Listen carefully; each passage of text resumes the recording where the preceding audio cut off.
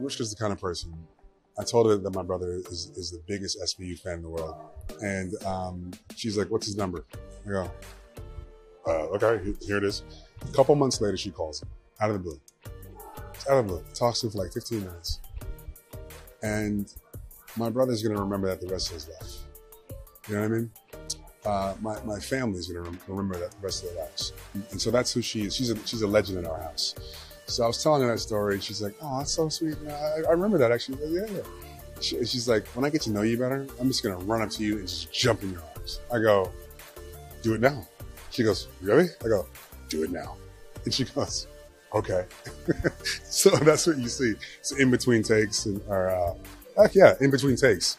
Um, we were just kind of walking down the street and, and she just, we did the dirty dancing thing. Like just, you know, we tried. It was, it wasn't, it wasn't graceful.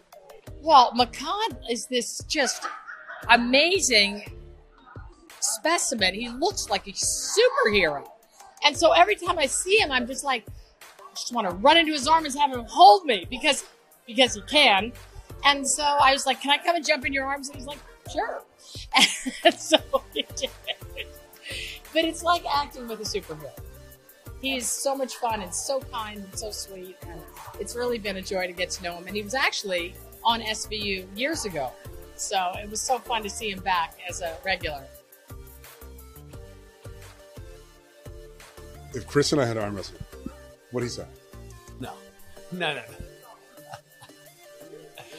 I tried arm wrestling early on, and I don't, I don't have a, I don't have the technique slash skill set, and he's a, he's a, he's a pretty big man. Honestly, because Chris is so intense and he's so competitive, I think he might get me.